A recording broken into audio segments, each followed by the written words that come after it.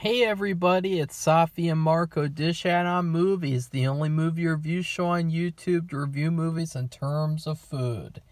It's just Marco here once again.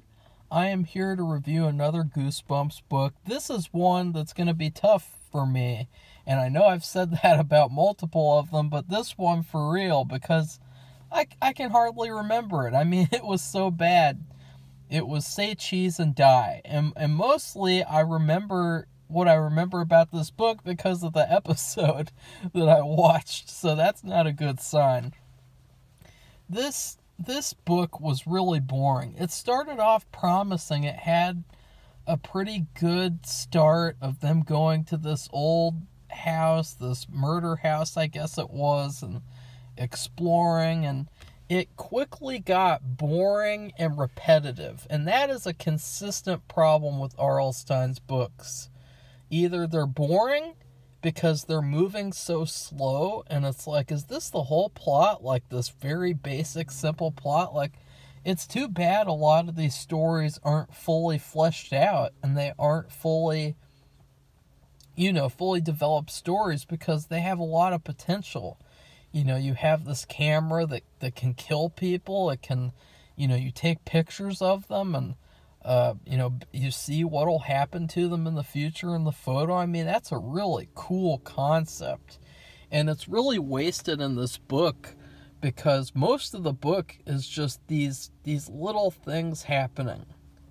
And they did it so much more effectively in uh, it it's from underneath the sink or whatever that one was called uh, I, God, this is terrible. it makes me look so bad, but it's just you know if if they were good, I would remember the titles. I would remember.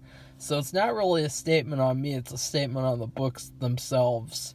Uh, even though the one under the sink one was really good and I liked it, uh, it had the same type of thing where you have this bad thing and or you have like a bad item and it makes bad things happen over and over and over again. But the bad things, they're such little things.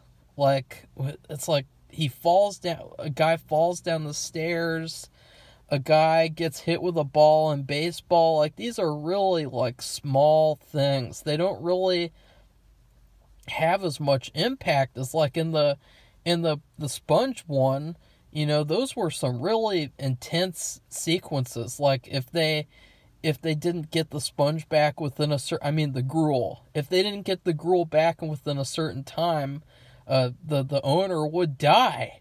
I mean if that's not intense i don't know what is. Well with this camera you don't really have anything like that. It's just these idiots who keep taking pictures. It's like oh oh i'm gonna take a picture. Snap I'm going to take a picture of you. Snap. They just do that the whole book. Like, what the hell are they thinking? And they don't learn their lesson until like three fourths of the way through. And it's just ridiculous. Not only that, but there's another friend in this book who isn't even in the episode. In the episode, you just have Greg you have the girlfriend, uh, Sheena, whatever the fuck she was called, and then you had the friend uh, of both of them. I think his name was like Bird or something. I don't know. these characters are not very good at all. That's another thing is that these characters were so boring. They were so bland. I can't even remember them. Like, uh, one of them like baseball, I guess. Like, I can't remember. That's how bad this was. It was so boring.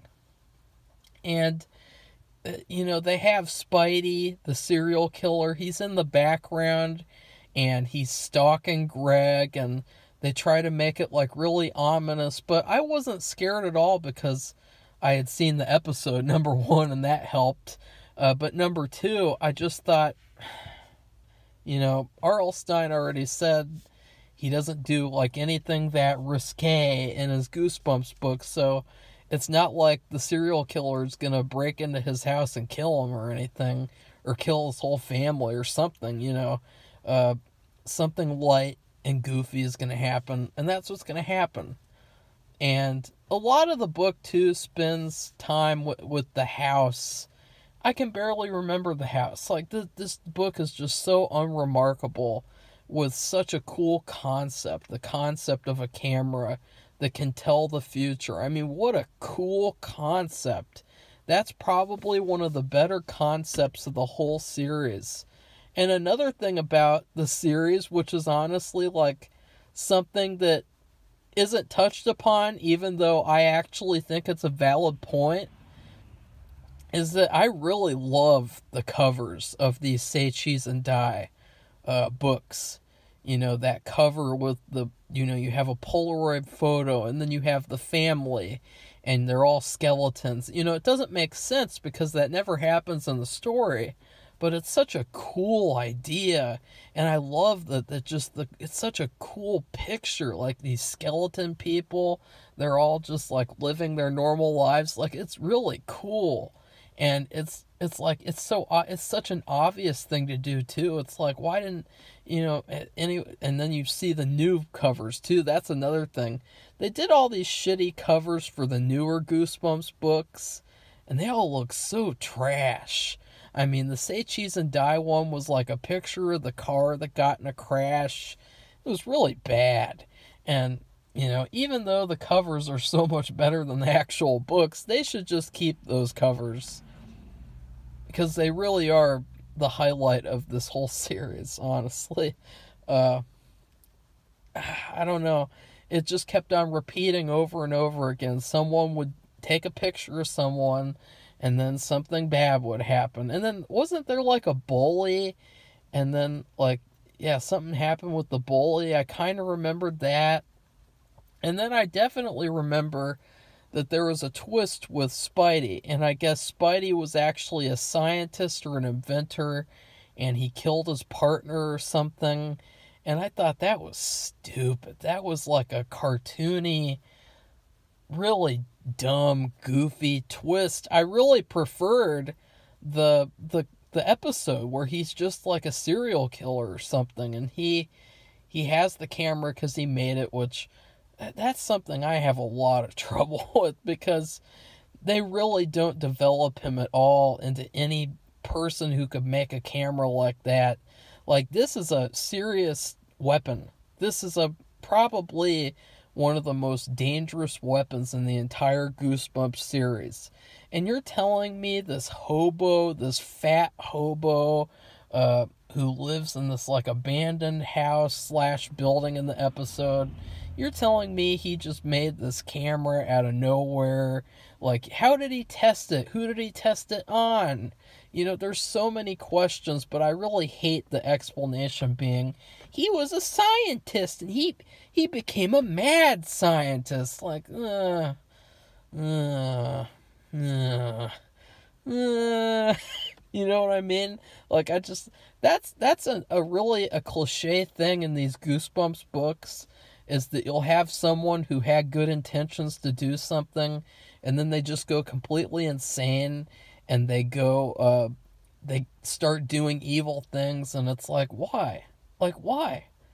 It, there needs to be a valid reason for things. There needs to be some logic. And when you spend a whole book i mean this this book felt so long i i wanted to fall asleep. I was like i want to get this book over with it is torture that's how bad it was but i can't even remember it so that's why it's even worse because, like, at least with some of the bad ones, like Go Eat Worms and shit, at least I can remember those. They're memorable. You know, they stick in my mind. Uh, I actually, you know, remember the whole stories basically. Not with this one, but it just had that repetitiveness of all of his books where he has something just happen over and over and over again and he doesn't bother to actually make a story happen. It's almost like the story is just the thing happening over and over again. Like, uh, for instance, in Attack of the Jack o' Lanterns, which that's a long way from this review. And that one, you know, they go trick or treat, trick or treat, trick or treat, the whole book. Ugh. So repetitive. I give this book an F uh, just an F because I do like the concept, and I did like like maybe one scene or two. I mean, I like some of the ideas. Like a lot of it is just like what's in the episode, so it's hard to say like is it really good because I'm technically judging it after having seen that episode, and so it's it's a different kind of experience.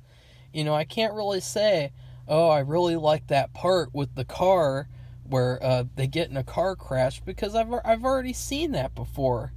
Uh, anyways, please like this video, comment, and tell me what you thought about Say Cheese and Die, and then subscribe if you'd like to see more Goosebumps book reviews. Goodbye, everybody. See you soon.